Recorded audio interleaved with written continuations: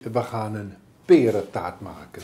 En daar is voor nodig 200 gram crème fraîche, 100 gram amandelspijs. Dat betekent dus 50 gram suiker en 50 gram gemalen amandelen, 1 op 1. Een ei en 25 gram rum. We gaan dit fonceerdeeg even uitrollen. Dit recept is te groot voor één taart. Maar het fonceerdeeg wat over is, kan met gemak in de diepvries. Doe er dan wel een stickertje op. Jullie zien, ik vorm alvast een rond stukje zo. En nu ga ik het even uitrollen. Ik heb hier een taartpan van 24 centimeter, 2,5 centimeter hoog. En ik ga een plak uitrollen die iets groter is en daar de pan mee bekleden.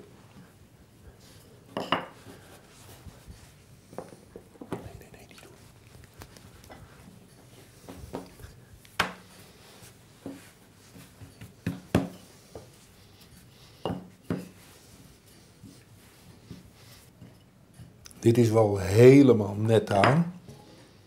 Ja. Verstandiger is eigenlijk om een iets groter stukje deeg te nemen. Ik rol het op het stokje. En dan over de pan heen.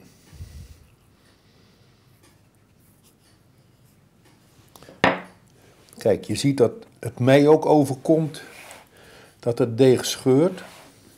Dat is niet erg. Je kan namelijk gewoon rustig modelleren. Je laat het zo erin zakken.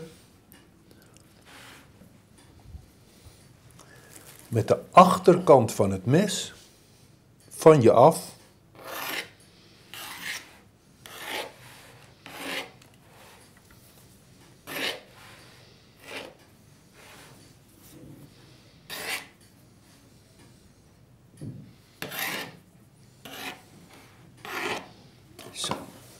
Dit deeg wordt gewoon weggelegd voor de volgende keer. Ik heb hier drie peertjes. Als de peren kleiner zijn, kan er een peer bij. Dit zijn handpeertjes. Wat wil nu het geval? Eh, Stella eh, die woont nu op de Prinsengracht en daar staat zomaar een perenboom in de tuin. En dit zijn de peertjes uit jullie boom en daar gaan we een taart van bakken. Ik heb twaalf stukjes, net alsof je een klok. Eerst de 12, de 6, de 9, de 3 en dan ertussenin. Dat ga jij doen. Ik ga nu het beslagje even maken. Belangrijk is, ik heb redelijk stevige spijs. Dat ei is natuurlijk vocht. Dit is vocht en dit. Als ik het zomaar bij elkaar zou gooien, dan krijg ik stukjes spijs. Dat willen we niet. Tik het ei er maar in. Geen schil. Dat moet, doe ik even met de hand. De spijs en het ei. Eigenlijk noemen we dat familie maken. Dus dat moet glad zijn. Want dan komt de crème fraîche en de rum.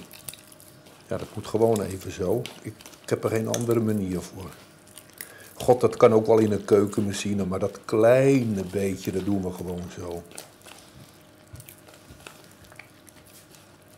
Dat eitje in dit zeer eenvoudige receptje, dat zorgt voor de soufflering. Ik heb hier 200 gram crème fraîche.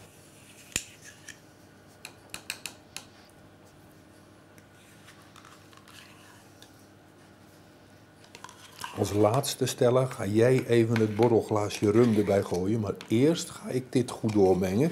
200 gram crème fraîche. 1 ei. 100 gram amandelspijs. 1 bekertje van 200 gram crème fraîche. En Stella gaat het nu afmaken met een half borrelglaasje rum, oftewel 25 gram. Lekker bij de peer. Dat eitje zorgt straks in de taart voor de stolling. We gieten hem er zo in. Geeft niet.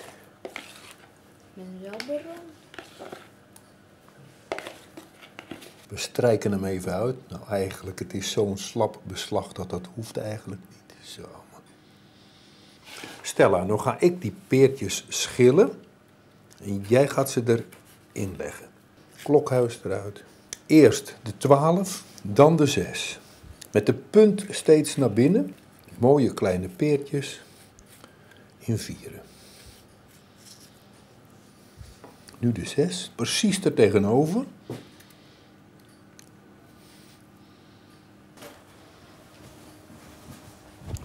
Zo, hij gaat in de oven.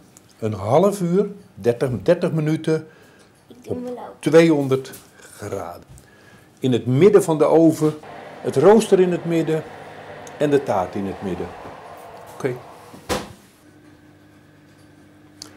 De peer is een, is een mooi contrast met het donkere beslag.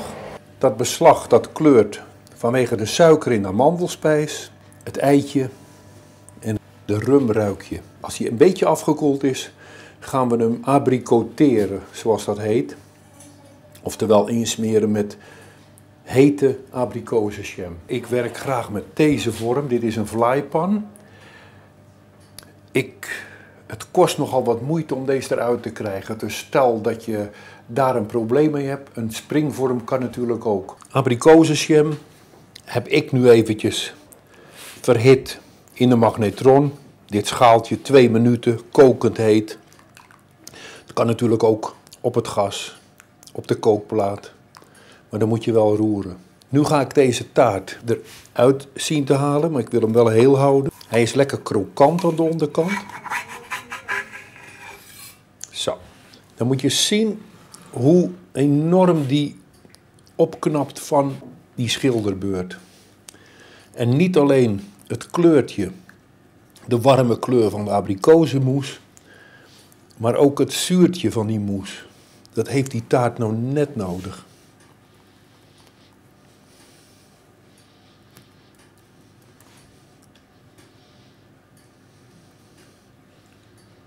Kijk, ik, ik- Zo.